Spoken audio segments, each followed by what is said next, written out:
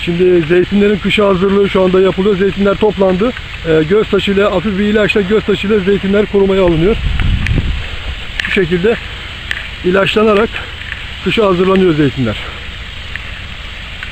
Bu Evet kışa hazırlanıyor. Şu anda gördüğünüz gibi göz taşı. Göz taşı denen bu zararsız bir madde ama ağaçları koruyor. Ağaçlara e, daha güçlü olmasını sağlıyor. Zeytinler toplandı. Arkasından bu göz denen madde atılıyor zeytin ağaçlarına şu şekilde. Burası Gey ve Eşme köyü.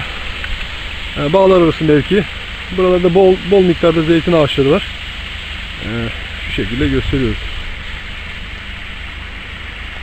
Zeytinler toplandı.